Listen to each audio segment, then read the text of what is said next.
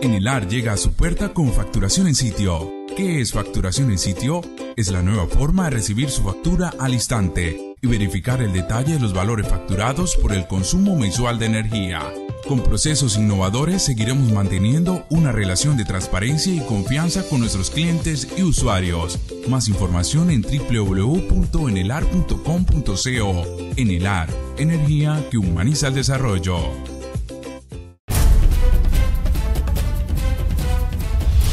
Las organizaciones sociales se quedaron con los crespos hechos porque el gobierno nacional canceló la reunión que estaba prevista para el 27 de septiembre.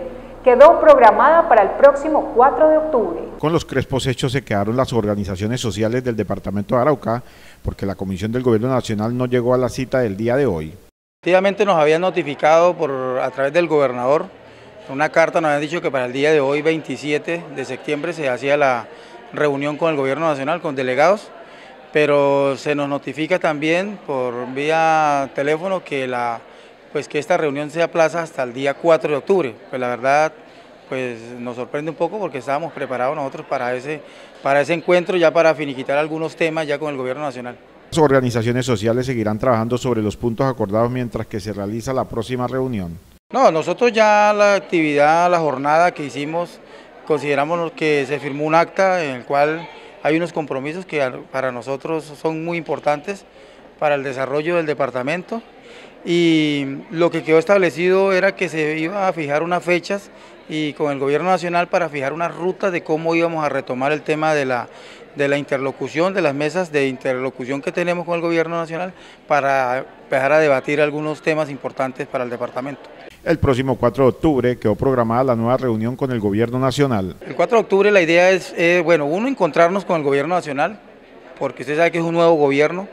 Dos, es eh, eh, como contextualizar un poco en qué va estas mesas, en qué se ha avanzado, qué no se ha avanzado.